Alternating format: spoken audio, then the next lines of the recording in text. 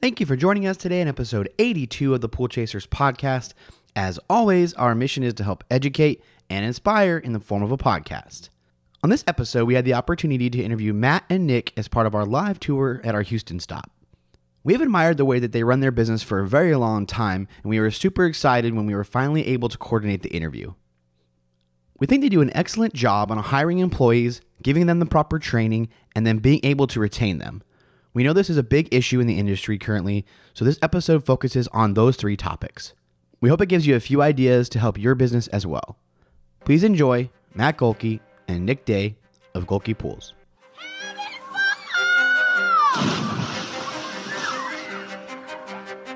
Welcome to your go-to podcast for the pool and spa industry. My name is Tyler Rasmussen. And my name is Greg Villafana, and this is the Pool Chasers Podcast. Houston. What's up, guys? How are you doing? cool. Well, thanks for coming out to the, the live stop on the tour here in Houston, Texas. We always love coming to Texas. Everybody's super kind to us, and it's been a good time already so far. So, this is a live podcast, so feel free to you know laugh, clap, you know, interact with us if the opportunity arises. So, we'll jump right into it. Yeah. So thank you so much, guys, for being with us today. Um, can you introduce yourself to the uh, audience and the listeners?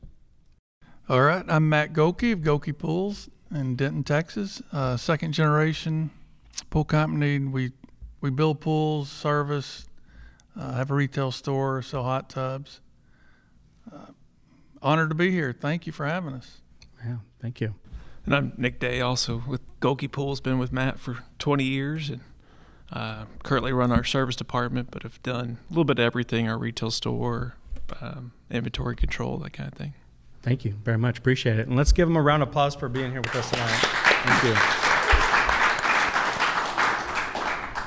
So, Matt, can you share with us just the history of Gohlke Pools? We know it started uh, a long, long time ago. A long time ago. My dad was Gene Gohlke. He's still alive. He's uh, 84 years old. He uh, came to Denton from Denison, Texas, to go to North Texas uh, State University, and he went to work for a guy named Burt Moore in the building supply business. And he uh, he decided well, he graduated college, got a business degree from North Texas, and then he uh, worked for Mr. Moore. And he decided Denton was ready to uh, for its own pool company. So he got with Mr. Moore and uh, asked him if you know, would you help me, you know, partner up with me and let's build some pools. And he did, and uh, they built pools uh, for six years, uh, about 75 pools and concrete pools. And uh, then he stopped building pools. I think he got tired of dealing with contractors and everything. But he still was in the service and supply business. He stayed in that, uh, and he bought he bought Mr. Moore out from the building supply business in uh, six, 1964. And uh, so he had two businesses: the building supply business and the uh, pool, you know, pool service and supply business and so that's that's how he got into it. Very good. What was that like in the late '50s? Do you guys have photos? I mean, I'm just picturing like wheelbarrows full of concrete, just dumping it in a hole and you know going to town on it. I've got a few old photos. I was born in 1962, uh, and I have a couple of photos of me in it, just next to a truck or whatever. But yeah, I think they would just back the concrete truck up. You know, there'd be rebar in, and and they'd dump the concrete and then hand stack it, and it was thick. We've had we've busted some pools out that are 60 years old that he built, and I'm telling you, they were built right. They were there. Yeah, I, yeah. They did a awesome. good job. Yeah. Very good. Um, so you want to talk to us a little bit about you know how you know you kind of got into the business. Well, I was born in '62, so my dad had the business, uh, service and supply business, and uh, that's all I really ever knew. I just grew up working. We had a little retail store, a little trailer, and cleaning pools, and so it's really all I ever knew. It's I, I worked in both businesses, but just being in you know school, the the pool business worked better for me because when I was off in the summers, we were busy. So I would, would kind of gravitate towards the pool end of it. And when I was, a, I went to TCU to get a business degree. And when I was a, a senior, I called him, you know, and said, you know, I don't know what I'm going to do. He said, well, I'm fixing to sell this pool company for ten thousand dollars. Nick's never heard this story. and I'm like, well, don't sell it ten thousand dollars. Don't sell that for ten thousand dollars. It's got to be worth more than that. Well, I'm just tired of it. And I said, well, just hold off. I, I think let me just come there work for the summer, and then we'll see. And so I went to work there in 1984, and uh, of course I bought it in 1992 for a lot more than ten thousand dollars. Was he insinuating that you buy the company? Is that what he was getting no, at? I think he really wanted to get rid of the company, and he was just tired of it. You know, he had another business that the other business was doing a lot better.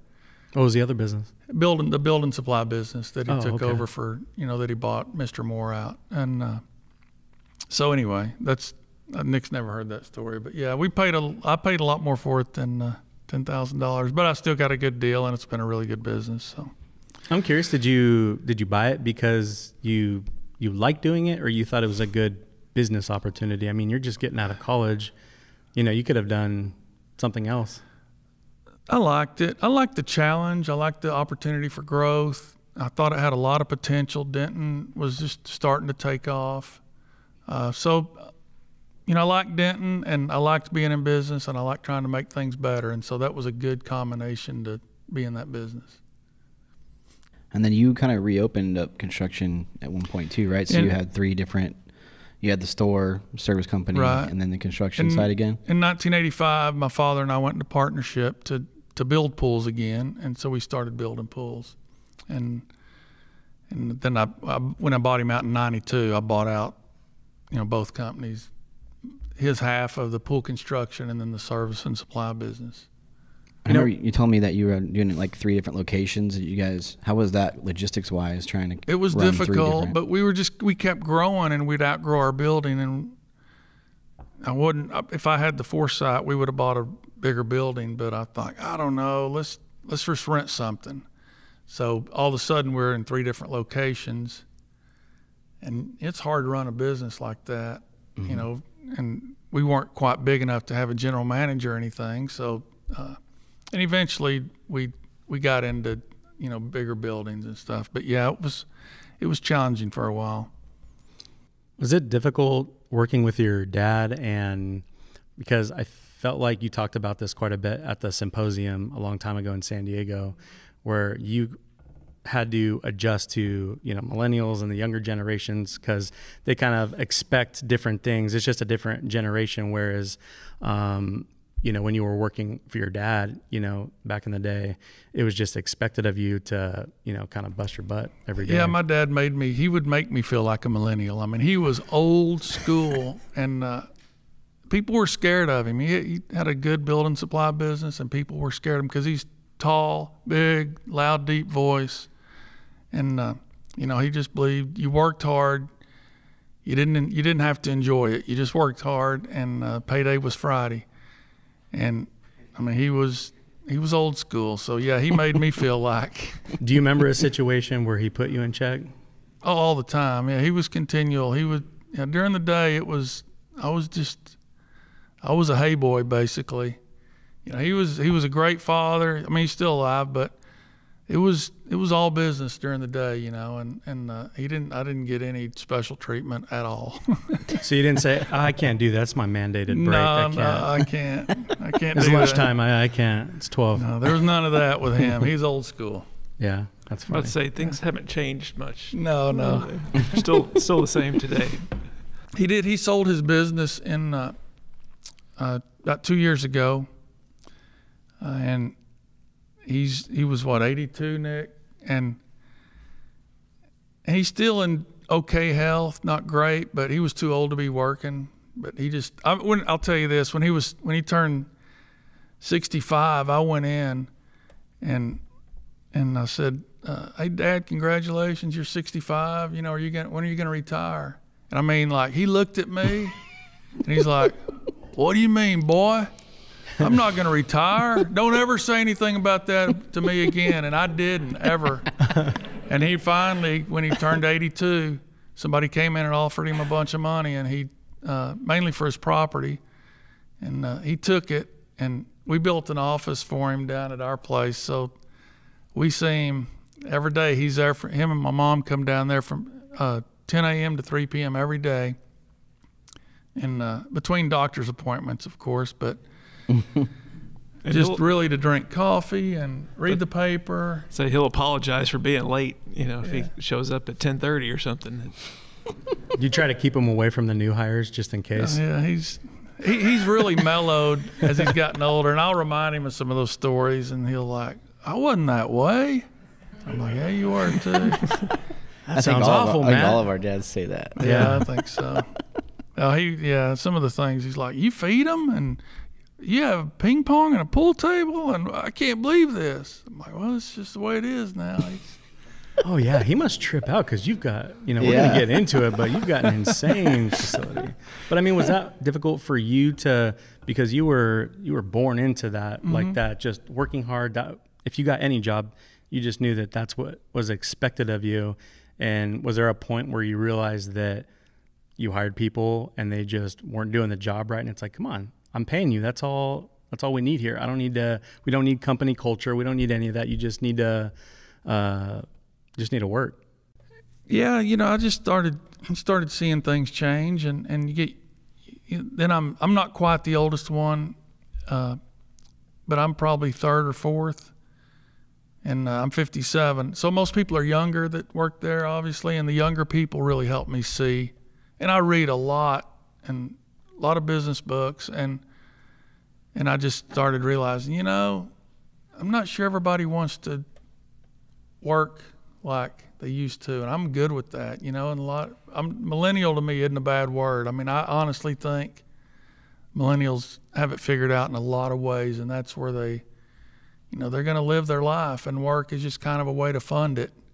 Right. Where, uh, you know, I think Nick will agree because he knows, you know, my dad and me, and and he's done the same thing. He's worked his tail end off. Where he's like, you know, I don't, I'm not sure this is. I think at some point we're going to look back and go, man, those millennials had it figured out. We're kind of now we're going through the cussing them standpoint. You know, like man, they want want to work and they want their own schedule, and yeah. but I think we're going to look back and go, man, I think they have something figured out.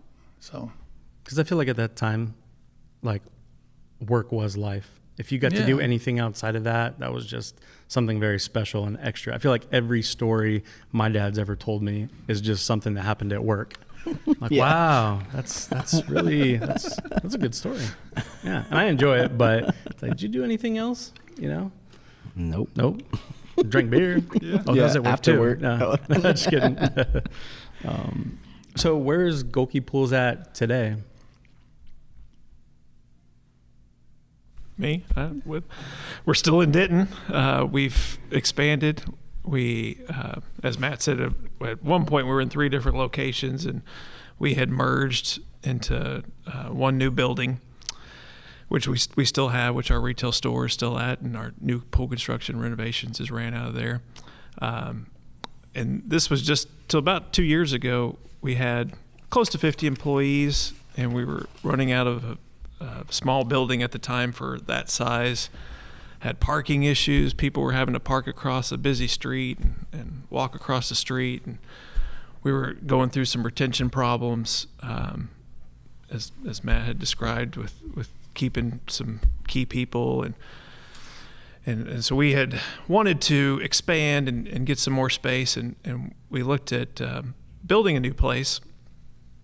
Um, and we had actually bought some property, and we're going to build a, a 10,000 square foot warehouse. But the city of Denton took almost two years to approve the permit, um, and so uh, construction hadn't even begun at that point. And we, we kind of thought about, well, it's going to take you know another six months if we're lucky to build the building and um, you know, so this is two years that have gone by during this this time, and we thought, gosh, we're going to be, you know, too big for this ten thousand square foot warehouse day one when we move in. And so we kind of looked around, and this building had had kind of come across our radar before, um, and it was nearby our current location, big warehouse, lots of parking opportunities. and um, we just inquired about it and and got lucky. The owner was looking to get rid of it, and things just worked out. We were able to expand and open up our warehouse, and and to me, that's when things really changed, and we were able to really get things ramped up in our service department and and going. So, did you guys go shopping for a new location after you had read whatever business book you read? you know, uh, company culture with millennials. We had outgrown our location so bad, and uh, we had like knew- we were over 50 people there, and We just knew that was one of the problems was the size of the, the business that we had. we were parking across the street, across a busy street, probably 30 cars, 30 of our staff members, and having to cross a busy street. And we were just, and plus, I think that's just bad for culture. When you're, our- our building's probably designed for 10 to 15 people. When you have over 50 people in and out, it's just a tough, it's a tough work environment. So I, we just started going, we got to do something. And uh, we, we were going to build a building and got delayed, delayed, delayed because of just permitting, like we know about with pools sometimes. And uh, then we found that building, like you said. So we kind of hit the jackpot because it was twice the building that we ended up buying is twice as big as what we had planned on. It's 21,500 foot, and uh, it's perfect. It's great. Very Gave us good. some room to do some of the things that we had been wanting to do for a long time. And about how many service accounts are you guys doing right now? Uh, weekly service about 700, and then we, Okay. then we have another um, seven repair techs that uh, that you know How many employees? 55, 60 depending on the time of the year. Very good. That's a lot. Ooh, Sounds like a, a nightmare. It's a lot of headaches. Yeah. no, you guys, you guys got it figured out. That's that's really cool. And what is um, what's your role today, Matt? What do you do exactly? They haven't gotten you a little house on the Is this on the an- property. Is this a work Yeah. uh, intervention about me being too involved in the business or something? Is this the whole reason we're here? Yeah, Nick talked to us earlier. Yeah. Your loved ones are here for you. Yeah, thank you. I've probably been too involved in the business, honestly. Uh, I, I mean, I'm kind of a control freak, and it's just it's been hard for me to to just step back. And uh, I've tried really hard to do it recently, especially. But we have two really good people, Nick, obviously, and then uh, excuse me, Christy Horton uh, who's been with us 20 years as well. And uh, so they both man. One of Nick manages the the Duncan Street warehouse, the big building, has our, all our service department there, and uh, Christy manages the other. So I meet with them once a week, and I mean, I'm probably it's probably hurt us me being so involved. Honestly, they would have probably they do a much better job at what they do uh, than what I did. I put out fires. I deal with problems. I mean, I do I do some of our marketing. I do some of our financial stuff, uh, but it's mostly them dealing with you know customers and and uh, staff members as well. Is that difficult, Nick, when he is in, you know, the zone of control? No, I, actually, I've really enjoyed working with Matt these last 20 years. Uh, we we like to butt heads sometimes. Like it, it's always a good argument. Like you know, we we both have good ideas and and we, we come to a common solution, I think, and and work it out together. So And that's something you really have to perfect with time.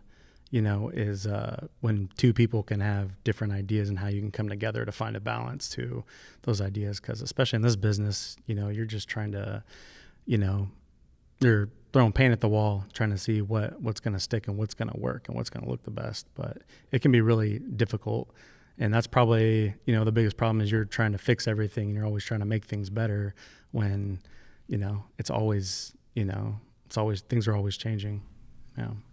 Yeah, I've been a meddling owner uh, probably a little too long. And and Nick and I and Christy, I mean, we get along good. We don't always agree, but we feel like it's healthy to not agree sometimes. And and sometimes, you know, when you make a lot of decisions, you're going to miss on some. And I've made some poor decisions at times, and Nick has, and Christy has. But you know, we don't rub it in their face and go, "Up, I told you, you should have done it my way." We just go, "It's part of it." You know, let's move on and and uh, but they've both made a bunch of dang good decisions. So I'm happy about that. Yeah, must have made some good ones. well, we first kind of saw you, you know, out in California at the symposium, like Greg said, and you taught a class about the processes and hiring and you know and, and retaining employees. So that's something we kind of want to focus on this episode a little bit. Um, so let's kind of talk about hiring first. What kind of qualities are you looking for for like potential hires? Can you fog a mirror? Yes. uh, that's that's usually question one, right? No. Um, I mean, right now we are certainly, um, you know, in the same boat. Probably a lot of other pool companies are with just uh, a shortage in labor pool. Um, so we're not getting as many applicants as we want, and so the, I mean, if if, if check a few boxes like they've got a clean driving record and um, we, we do require a pre-employment drug test and you know, if they can do that, they're probably going to get an opportunity. And then we're looking for good communicators beyond that to to you know work more on, train more, promote, and and so if they show a little bit of technical ability plus being a good communicator, we're going to put a little more resources into them. Are there certain things in their personalities that you're looking for that fit in with your team? I mean, what does it go beyond that a little bit in in like looking for yeah, right I, I, mean, we we certainly want our culture to continue to cultivate and get better. Um, you know, we, we try really hard to, to eliminate all the drama from the workplace, and so you know, certainly if anybody's in that, you know, if they are in really in love with drama, it's probably not going to work out, and they're not going to be around for very long. So, yeah, that kills the company culture right, right. off the bat. Yeah. We've let people go first day because it already started affecting the way that everybody else was. Yeah. Yeah. We had one guy work for one day, and Greg took him home. and he thought he was so good. He's like, "So how'd I do?" I was like, "I'm taking you home." Yeah. You ain't, get, ain't gonna be fit here. and then, unfortunately, it's gone the other way for us lately. We've had a, a few, um, like, uh, just online job postings, Indeed or something like that, and we'll hire somebody and, and you know if they're applying on Indeed, they're applying at you know 20 different places, and so they'll come and work for a day or two. And then somebody better will call them, or they think it's better, and they'll they leave. Fire us. They fire us. so, so I know things are different. I didn't really think about this until you know Tyler's dad, which is kind of a father figure to myself as well. Um, he has a RV park or apartment complex in Mississippi, and he knows to use Yelp and all these other different you know platforms for kind of marketing and bringing business in. And he's like, dude, that doesn't work here. He's like, I'm having to figure out different things. So he's in the newspaper and like radio and just things that are we're from Phoenix. It's very, very competitive out there, and you've got to be on social media. You've got to be using Google AdWords. You're doing whatever it takes to get noticed on the first page of anything. Um, do you guys have a little bit of that? Because I don't know much about Denton, Texas, but from what I've seen, it's definitely not Phoenix. So I'm sure the way that the the places that you're looking for these candidates is a, a different place. Well, I don't, I don't think we found the one place to to get tons of applicants, but we, we try a little bit of everything. But I do think like uh, with the Google, you know, reviews and stuff. I mean, not only are we doing those for our customers, you know, to attract new business and, and paint a positive light at Gohlke Pools, but also with potential applicants. You know, the first thing an applicant's going to do is look at your website, look at your reviews, and decide if they want to work there. So we think that's an important part of it as well. Right. Yeah, definitely. And I recently heard, you know, somewhere that um, this company, it's not, I can't remember what industry it's in, but they like to find people from that work at Discount Tire. There are certain places like Discount Tire, Costco, that something happens, they're just not quite as happy, or you can offer them a better opportunity to be more of a salesperson and you can make more money with them. But there are certain uh, qualities in uh, a person that work at those places where they're just really friendly. They got to tuck their shirt in. They've got to have their hair cut a certain way. They're just certain things that this company's already put so much money into in uh, into this into these people, and that's where they really um, go shopping for their team. That's funny. We uh, we've done that with Chick Fil A. We've gotten a few people from there just because the good attitude, and, he, and we like you said, we don't hire for pool experience. We hire good attitude, good communicators. That's what we want. And uh, I've always gone to this old town, old school tire store in, in Denton, Briscoe Tire, which I love, just because they know me. It's been there for ever since I've been driving, and all of them love discount tire, and so they have. they have. My son just bought tires there. they go, you need to go to Briscoe. You don't need to go to discount. Dad, they just they treat you so good there. I don't know what they do, but uh, yeah, they they they kind of have that. Same I've actually thing. tried the discount tire route, like you know, uh, stealing employees from discount tire, but Stealing. yeah, I don't know how else to put it. yeah, that's, that's what it is. But Just went out and said it. but uh, it seems like the the guys that work there, like they love cars so much, like taking them out of the car industry is a downfall for him. Like the the pools aren't as attractive to him as the cars, so it hadn't worked out real well for us. But Yeah, and that seems like if you could get somebody from a place like that, they would need to probably be they'd be a good person in management role because if you go in there, most of the people that are at the counter, they're just the manager type. You you can tell that they've got big personality, good personality. They know how to control the store when there's a big line or you know there's just different things going on and they're just consistent and it's repetitive. And that's the most difficult thing I saw from the very beginning in the pool business. I'm like this is going to be a struggle. These technicians are having to clean the same pools every single day and it's just it's a it's a monotonous job. It is very difficult. I don't think that gets talked enough about is that how difficult you know that really is. I always thought that things would be better if they could invent like a bubble around a technician that had like AC and you could just walk back there, a dog could come and it wouldn't really matter. Just clean the pool and go check on the equipment, no bugs, you know. If anybody wants to invent Bubble that, boy. please do. That would be epic. Don't Yeah. you do something like that for during the summer? What do you you put Laminate tent, you got yourself. tent, you got tents for the guys or something? oh well, that's yeah. That, like Well, our repair technicians all carry tents so they could sh- set up you know shade. Oh, you know, while they're working on the pool equipment for a while or something like okay. that. And, but no, no, no built-in air conditioner bubbles. That would've I'm thinking like a real tent. I'm like, man, you guys got some big jobs. You got to camp overnight. Uh, not quite, not quite. But we, but we do have free popsicles in the summertime. We stock the uh, the freezer full of popsicles. we took Cheap that. We, did we took take that from them. Yeah, we took that from them. we were working on other things, but the popsicle one seemed uh, the most affordable at, the, at the moment.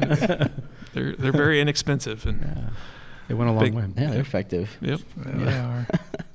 So where have you kind of found some of your people? I mean, you guys are in a college town. I mean, I know we talked about like college employment offices and different things like that. You guys have used to find different talent. So can you share some of that with us? I mean, our, our biggest by far is employee referrals. So existing employees, you know, friends and family.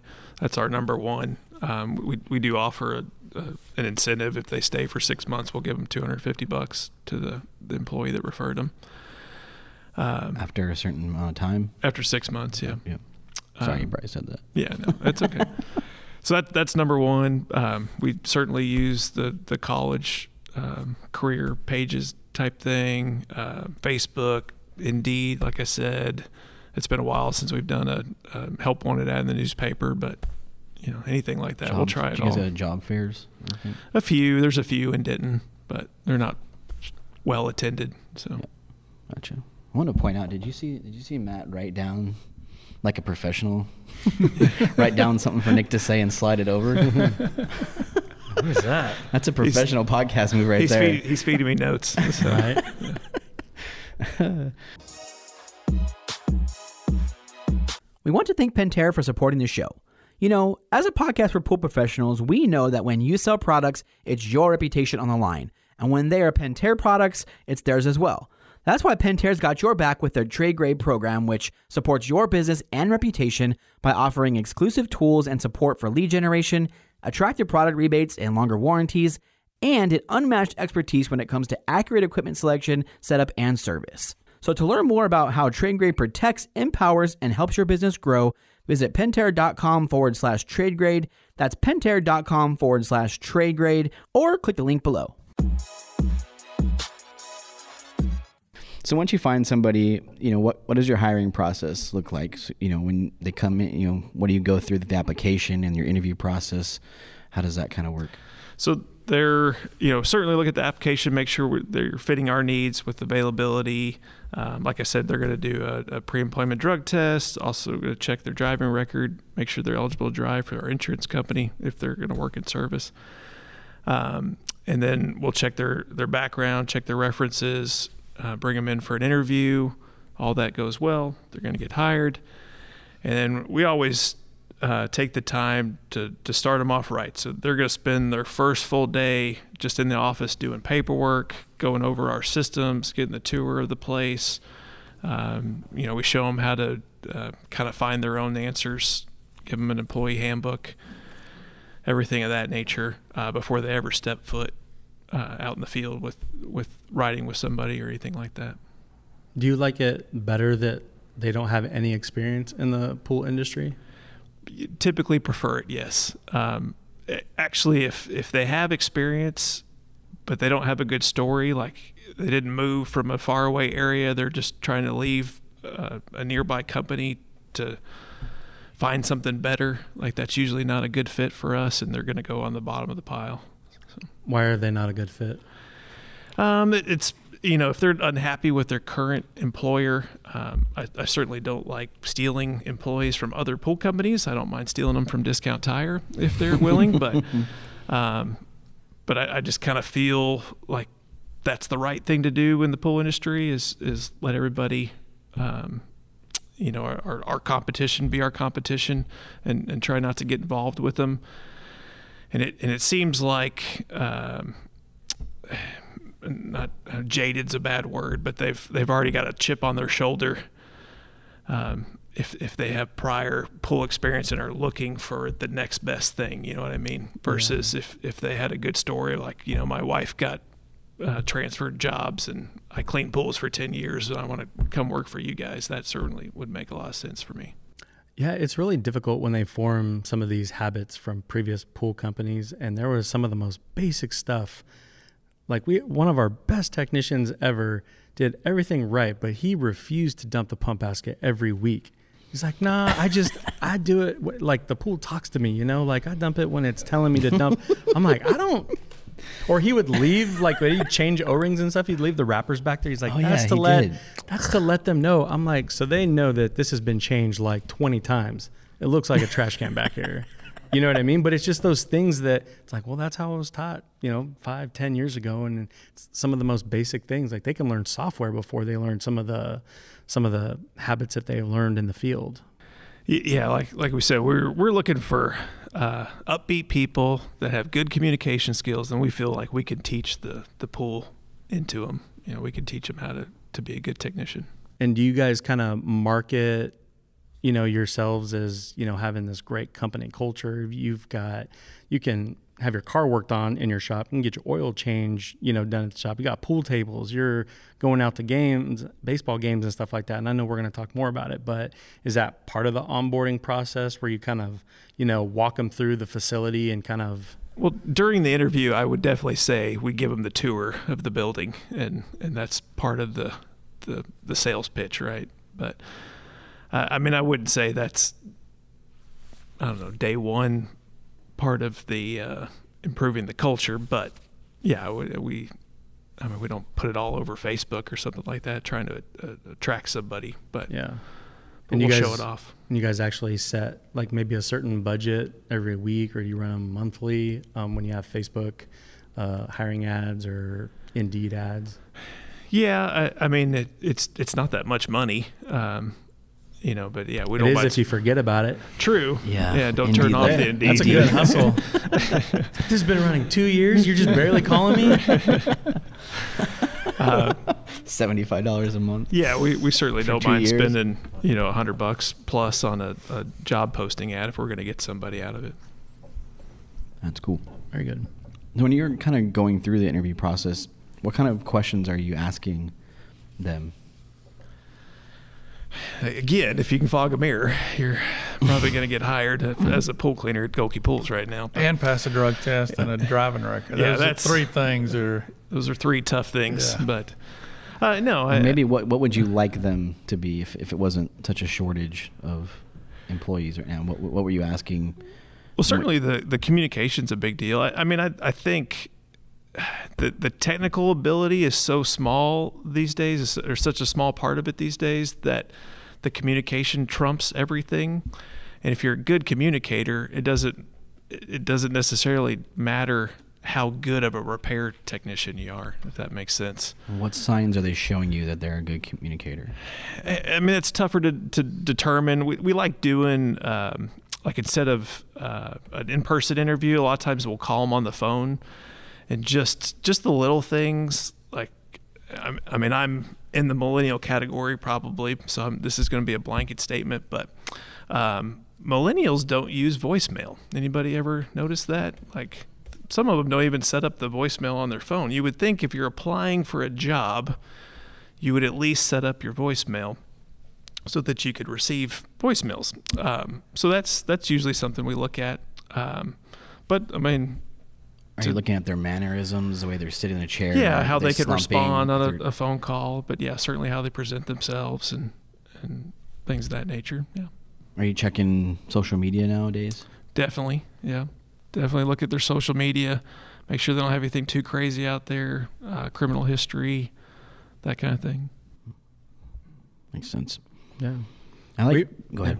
I was gonna say we've heard of um, people as well doing um, credit checks as well as you know background checks. I mean, this is completely always looking at different industries because there's in some ways they're really far ahead in certain things, but when they have a good you know uh, you know good credit, they're more likely to kind of be you know uh, you know a better person in general, responsible, I guess you'd say. Yeah, we run a background check, but I don't think it involves a uh, credit check. But that's that's a good idea. Probably goes hand in hand, like you say, responsibility. Do the technicians understand like how how important their job is? Because I think it's a pretty serious job, and I don't think that gets talked about like enough. That they're expected to be kind of a basic, you know, plumber, and you got to know water chemistry, and you got to be able to put all that data into a software that's going to be sent to a client. It's going to be sent back to your office so that you can keep tabs and be able to run reports on, you know, how many chemicals you're using, how much that's cost, and you're able to do the analysis.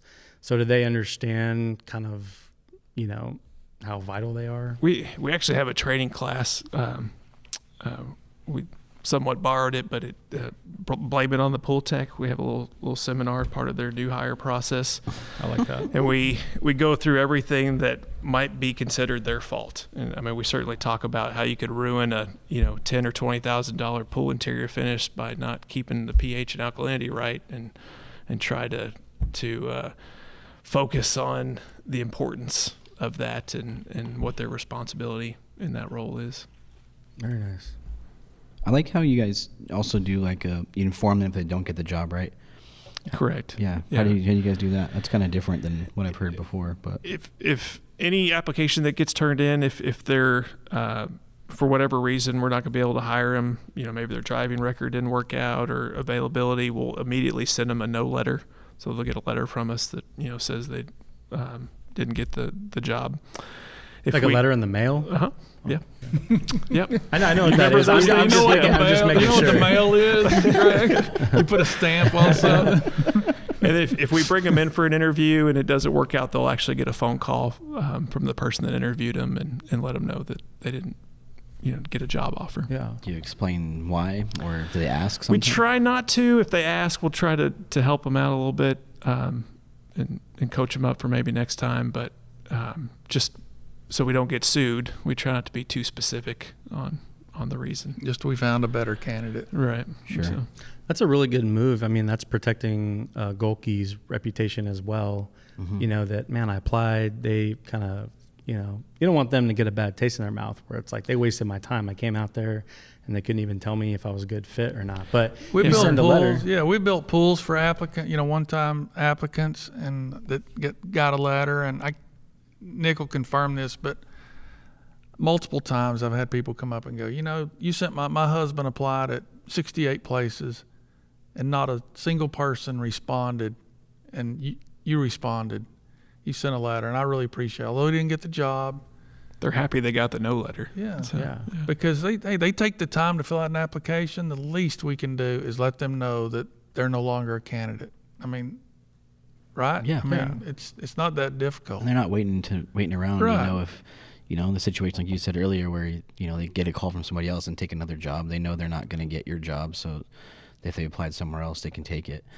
That's cool. Another thing you guys do is like perform exit interviews, which I thought was a cool part of. I'm sure that helps you with the with the hiring process as well, and the whole company culture, understanding when somebody leaves or or if you get rid of them. That interview. What kind of what does that kind of process look well, like? we'll only do that for um, for staff members that leave on good terms. Okay. So if they're you know retiring or moving or something like that, then we'll, we'll take the time and, and hopefully we're just going to get honest feedback. You know, we'll, we'll go through talk about their immediate supervisor and, and their role and you know what they liked and what they didn't like about their job and hopefully get some real honest feedback if it's somebody that's left on bad terms i could probably care less about their opinion and you don't want to hang out with them in a room. well, no, probably don't want to prolong that. All right, you've been terminated. Now let's do your exit interview. So it's usually not a good move. Have you guys ever had any kind of retaliation Uh, I from mean, like employees that physical or like. What do you got? Uh, I, yeah, you can tell there's something churning. no, I mean uh, probably just a few things like uh, maybe some uh, Google reviews or Facebook posts or something on a disgruntled employee or Glassdoor or something like that. But um, nothing. Nothing. I mean, we've had people cry, you know, when we terminate them, and that's hard to do. And uh, and we had one guy where, uh, you know, I mean, I was scared. Like you could tell, like he, he it really, really, really bothered him. And like, what am I gonna do? You know, yelling, what am I gonna do with my life? And and uh, so, but usually, like Nick said earlier, that they they know. I mean, they've given they're given plenty of opportunities, and and we I mean, we're trying to be good people. We want them to be happy in their job and be a good fit. And if they're not a good fit, and you keep them, you know, you're really doing them a disservice too. So usually, a, you know, termination like where you're not sure if a guy likes working there and just not a good fit would start out like that. Like, do you like it here? Really like it here? And a lot of times they'll say, not really. And then that's easy, right? You can go, well, let's let's find something for you. You know that that's maybe a better fit. What do you like doing? And we had one guy that wanted to work on airplanes, and he's work. And I'm like, what are you doing here? I mean, go to the airport. You know, let's let's find a better fit for you. So we we try hard to be good humans, you know, and we don't like terminating people. But there's some that do that so well. Like they've been enabled their whole life. Yeah. And we learned that there was like younger people that would work and be like, you do this with everybody, don't you? Like, I don't know what to tell you. Like, work is hard, life is hard, Yeah. and we're trying to set you up for success. But like, not going to do this. Yeah, You we just say, you know, we don't fire anybody; they fire themselves. I mean, they're given plenty of opportunity to mm-hmm. succeed. It's not a surprise. No, so it's it's not that difficult. But you know, you know, your people that you hurt, you know, it, it bothers you. Yeah. Very good. So, you know, once somebody is hired, what does the process after that look like? Like what the training? Yeah. Manuals. We're pretty. I think this is what we do. Uh, we do training. I think pretty well. We uh, I think I heard it from Howard Weiss of Contemporary Watercrafters. He's retired now, and I think David Hall said it too. But uh, that saying, you know, what happens if we invest in developing our people and then they leave? And what you know, right? We all think about that. I'm going to train them how to take care of pools, then they're going to leave and compete against me. And our philosophy is, what happens if we don't train them and they stay? You know, and that that would be bad. that's scary. And, uh, That's a good one. so we just kind of we subscribe to that theory. Like, let's be a really good place to work. Let's train them really well. Let's be a really good place to work. And we we sincerely believe that we're better off with them and they're better off with us. Kind of a one plus one equals three. And hopefully, and I think most of them do see that. Uh, you know, we so we train. We try to train really well. You know, you think about it. We we put these people in front. What does a person spend on their swimming pool in their lifetime? I've always heard twenty or thirty or forty thousand, but we do some. We've done some renovations that are a hundred thousand, and we're putting. We have to train our people because you know one bad, you know, experience, we could lose that customer. We can't look at a customer as a bag of shock or one service call or like it's much bigger than that. And so we try to be sure that they're well trained before they get out there. so once they get hired, though, I mean, I've seen this before. You guys like have a very detailed checklist, right? That they have every single one of those boxes has to be checked off, like CPO. Yeah, the uh, first day they go through, uh, Christy goes through the first day. She kind of does our HR, uh, like a checklist of, and we can get it to you if anybody wants it. Uh, they're probably 40 or 50. Who wants it? They're probably 40, that was happening. 40 or 50 things on it that, that just covers everything that you can think about really that comes up that an, an employee has questions about that maybe we don't cover because we're busy but you know everything we get their social security card at that time their driver's license uh, we go through our benefits uh, have them fill out all the paperwork you know their you know bank deposit information uh, talk about you know if you have a problem with your pay, you know, the proper, we go through the chain of command with them. I talk about accidents and first aid. I mean, we talk about a lot of things, and uh, and that helps kind of set the tone that hey, you know, we're in a we're a business, you know, we're we're going to do it the right way, and and I think it sets the tone. And they're Uh, all hired on as employees, right? Yeah, yeah. not 1099s. No, no, no, no. And they all get job descriptions that first day and a policy manual uh, that covers everything. And and uh, so I think they take it, and we tell them to read it, you know, and and ask questions.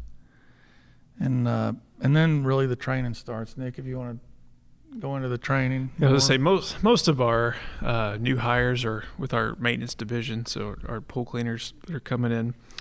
Um, so they, they get a, a manual on their job that's got some common questions, and the uh, uh, the department manager has a has a, five class rotating class that he does. Like he does it every week, and you know no matter when they start, they get plugged in and they keep going through that uh, rotation until they get all five classes done and and those pretty broad topics, you know, water chemistry and uh, what to do with water problems and staining. Like I said, the uh, blame it on the pool techs part of it.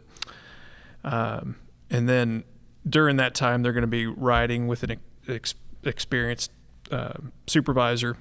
And they're, you know, obviously show them how to do the job. So those are basic training classes before CPO and before all that other stuff. This is in house. this is in house. This is our, you know, how we want things done.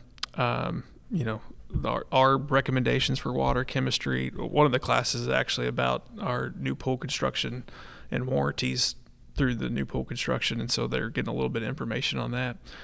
Um, and then the when they're out riding with the supervisor, uh, they've actually got a checklist of all the different things that they need to know how to do, and that supervisor signing off on them as they get it done and, and feel like they're um, well versed in it. And then once all that's been completed, then they're out on their own. Uh, well, not on their own, but they're kind of in charge of the route where the supervisor's riding along with them, and the maintenance manager will check in and, and make sure everything's going well, and, and eventually they'll get on their own. So and they're usually- paid hourly, probably. we do, yeah. During training, they're going to be paid hourly, and then we'll make the move um, when they've got every, all their ducks in a row and they're efficient with their time. They're going to eventually move to commission. I'm curious, what do you find is most challenging for um, those techs in the beginning to learn? I mean, I would say water chemistry is probably the the number one thing that we Does it come as a on. surprise when they see a pool, or it's just like, do you what? Yeah, I mean, you know, the the physical part of it, you know, cleaning the pool, we can usually accomplish that in a day or two. The water chemistry takes a little bit longer. The equipment maintenance is somewhat tough. You know, they're going to see, you know, most pools have the same kind of equipment. There's always a few outliers um, where they just have some some different equipment than they're used to, and that's probably more of like, hey, we just have to run into it, and you get to see it and work on it when we get there. Right.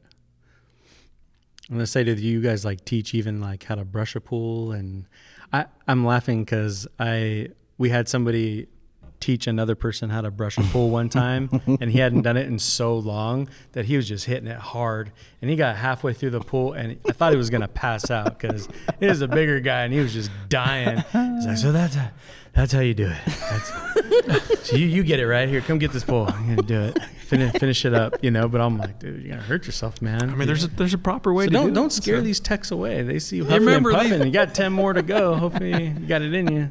You got to remember these pool cleaners come to us with zero experience, 95% of them. So it's like they don't know a pump from a filter from a heater, which you think, God, that would be a pain. But really, we're able to teach them the way we want it done and go through this checklist to clean a pool. And you know, it's really not that difficult if you just follow a regular routine. We all just go clean a pool because we know, you know, we know how to clean a pool. But uh, Nick and Nick and his staff do a great job of training those guys from nothing to being able to go clean a pool and communicate and smile and Yeah. all that. You really got me thinking. I feel like I would go look for techs at the gym or like on a hiking trail or something. like, man, you you're strong. Hold this pole. Listen, can you can you huck it out there like this? Can you do this motion? Oh yeah. You, you need a job? Yeah. so you guys perform, you know, weekly scheduled meetings, correct? Yeah. Yeah, so so uh, as kind of continual training, our um, each department is responsible for still setting up a, a weekly uh, training opportunity. So they'll, you know, it's a little more department focused, you know, what they're in day to day, and so they do that once a week. So the instructor, it may be the department supervisor, maybe somebody else, but they'll have a PowerPoint presentation and eventually do a test on it, um, just so everybody knows the material. And then uh, we also have a, a company wide meeting once a month um, where we get together, have breakfast uh, for the whole company, get try to get everybody in the same room at the same time so everybody gets to see each other and give them a little information about what's going on with the company. We also have some required safety meetings and stuff that we, we cover during that time. Um, and, and just share a little bit of information about how the company's doing and, and what we're planning on doing for the Yeah. next month or so. And have you got those perfected where you're not wasting too much time? Because, you know, you can get caught up in some extremely unproductive meetings. Yeah, I mean, we the goal is always um, like thirty minutes, maybe an hour most. Thirty minutes is probably ideal. Um, anything over an hour is just way too long. So we we want to be real precise, and um, if the topic's too broad, like we'll cut it down so it's within that time frame. Very good. And what are, uh, I know you discussed some of them, but what are some of the topics? Oh Yeah. gosh, it's yeah. I mean, we got hundreds of them, but I mean, it's it's anything from um, like their department. So it might be you know water chemistry for pool cleaners, but they'll get involved with um, uh, renovations and and hot tubs. Like we just want them to know a little bit of information about all parts of the business. And then we'll do stuff that's you know completely outside of, of the, the technical side of it. Um, I mean, we'll talk about goal setting and um, you know some customer service things, but also personal development. Like we may talk about you know how to save for retirement or something like that. That's, that's awesome. So, you know, we talked about, you know, the onboarding and all that stuff. Can we maybe talk about, you know, retention? I know you guys are huge on company culture and you've, you know, gone above and beyond in, you know, keeping people around. You want to talk about that a little bit? Sure. I, I uh, you know, in my 36 years of doing this full time, I, we've never seen it this difficult to find people. I think you all will agree. It's it's difficult to find people to work, Good people.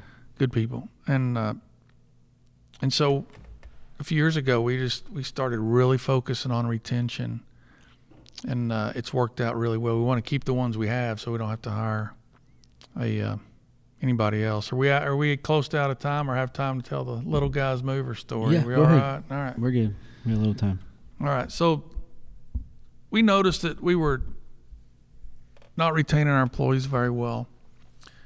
And we even lost uh, a couple to this company in Denton called Little Guys Movers. And I don't know if you've ever moved before, but I would hate to do it for a living.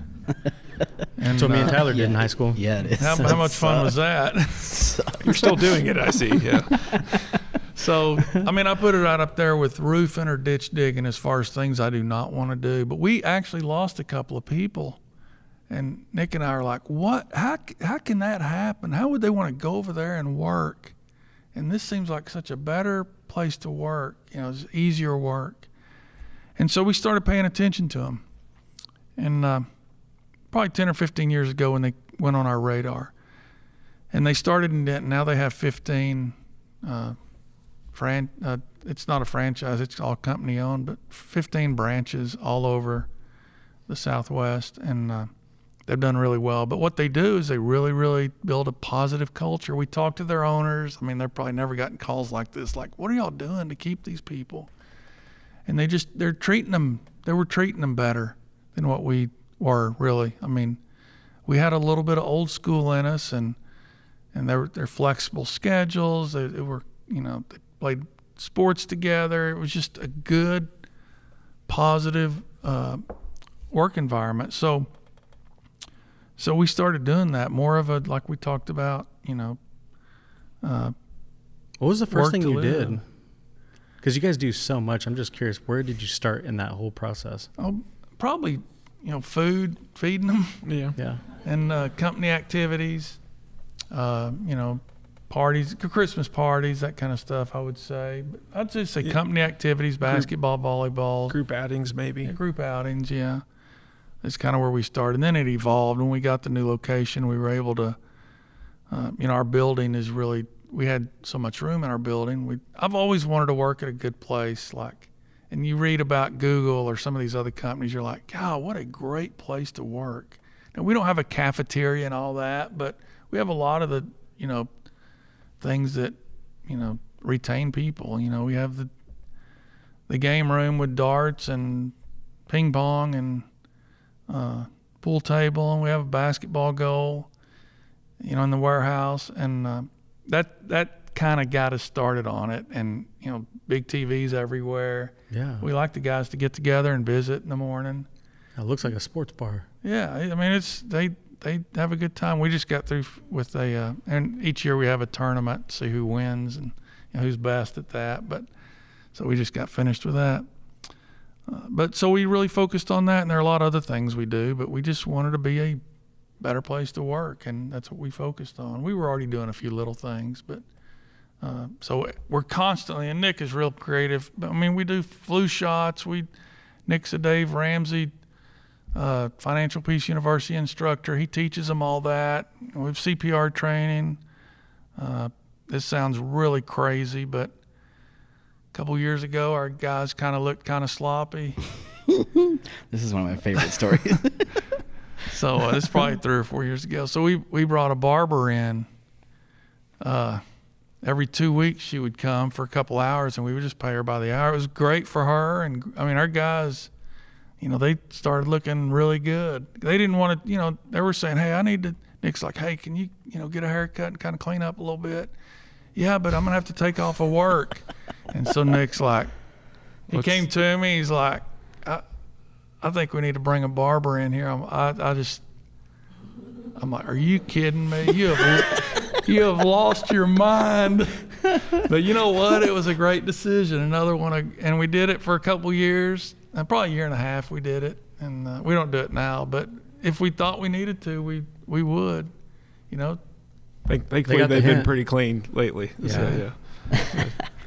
And you have your big parade too, like through Denton. Yeah. Part part of that. What do you guys do? You, you got like load up the trucks with the beach balls and stuff. yeah, uh, we had a Pentair give us a thousand beach balls. It's a big event.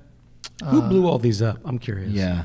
I did. He but He had help. we, yeah, we, we used the air compressor, so it didn't take but a couple hours. But So, our yeah. excavator brought uh, two, you know, dump trucks and two excavators, and the it's a July Fourth parade, and it's big. I don't know, ten or fifteen thousand people in downtown Denton. It is huge, and all kids, and we had a thousand beach balls just for kids, and we didn't have enough. And actually, our Pentair rep came this time, and he's like, "We're getting more beach balls next year. This is a great event." But we try to do. We have a lot of things. Uh, a lot of things like that.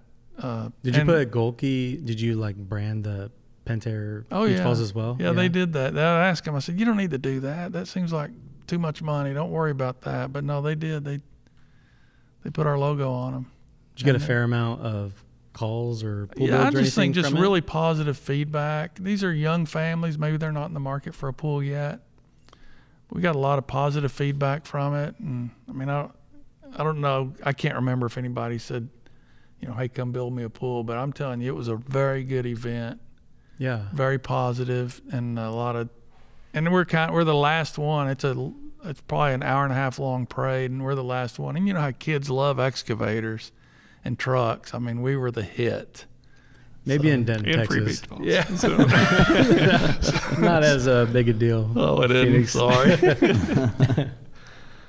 Um, we also do. Uh, I mean, some some with the community involvement. The um, uh, we offer uh, a bereavement pool care program for our customers. Like if they had a, a recent death in the family or a terminal illness or something like that, we'll offer to take care of their pool at no charge for a few months. I think a lot of the, the staff members really enjoy that because they're kind of giving back and they can you know directly see how it affects somebody that you're taking that burden off of them. Right. And I mean, what would you suggest for a smaller company that might not have as big a budget but should get started on something like this? Like, where would you suggest that you know they start? I mean, I, I think you certainly talk to your people um, about what they're interested in, and, and anything that doesn't cost much, I think you should try, and, and maybe it doesn't work out, um, and then but maybe it does, or you keep building on it and um, keep investing a little bit more money into it. I, I, I haven't put pen and paper to it, but I I kind of figure replacing an employee is probably close to ten thousand dollars. Um, by the time you lose them and you hire somebody else and all that that you have to go through and train them, um, so where would you rather spend the ten thousand bucks on getting a new staff member or doing some fun stuff? So, I think feeding them is good, and if you can maybe get with uh, manufact, if you get with a, get with your manufacturer, you know, if hey, if can you help us, you know, if we sell, you know, maybe tie some sales goals to it. Can you buy some, you know, whatever meal if you and have them bring food in. But I think the main thing is just being kind to them. You know, just seeing what they want, talk to them, be kind of involved in their life, ask them how they're doing. Uh, that doesn't cost anything. And you're pretty flexible with their schedules too, right? Like letting, allowing them to work certain days and working around that. Sometimes that, Yeah, we do some job sharing difficult. if we need to. Sure. yeah, that's pretty cool. It's different than I've heard before. It's hard to kind of work your routes around something like that, but it's cool you guys allow college college students to kind of come in and work when they can. yeah, we are in a college town, so we do have a lot of college students that work for us. But uh, I mean, we we have some some unique people. We, we've got one guy who likes to go on these you know months long adventures. So he'll drive his van and across the country and be gone for three months, and then he'll just kind of pop back in one day and want to clean pools again. And so we try to make that work out. He he needs sabbaticals from the stress at pool cleaning. right. Wow, that's the secret. Or maybe he just has it figured out. Maybe I think he has it figured out. I'm, we're up there working our tail ends off. He's had a good time seeing the country. Yeah. So. That's really cool.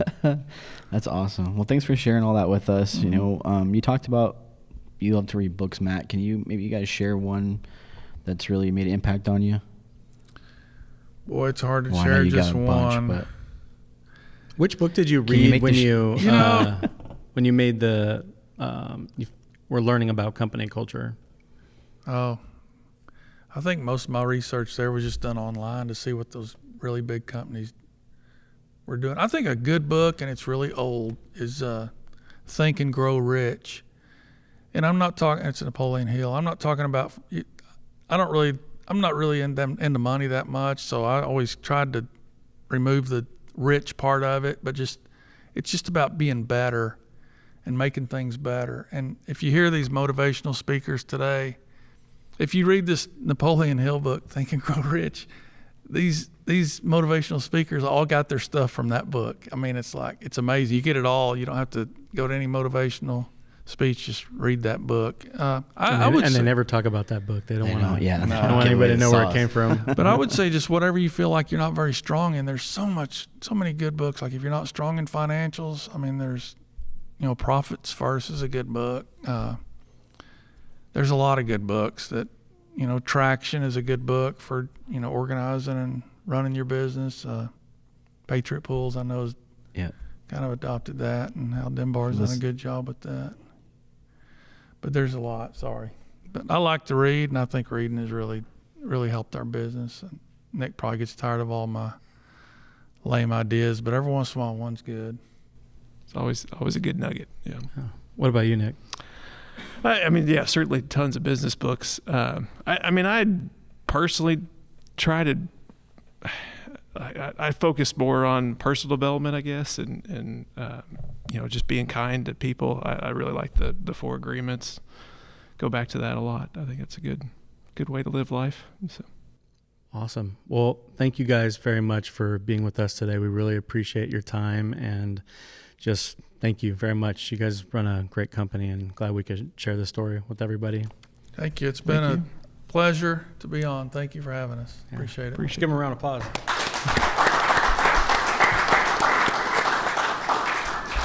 Real quick before we go, um, just kind of thank you guys all for coming. We appreciate you coming out, spending your time with us. I know it's late.